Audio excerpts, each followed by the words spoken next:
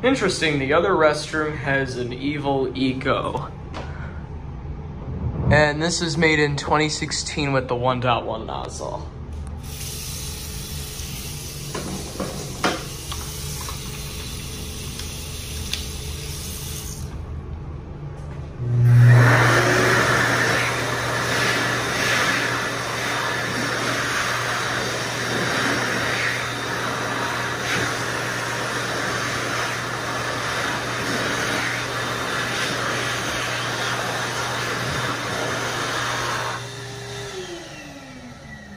The air on this wasn't actually cold, so this is just a regular XLERATOR in disguise.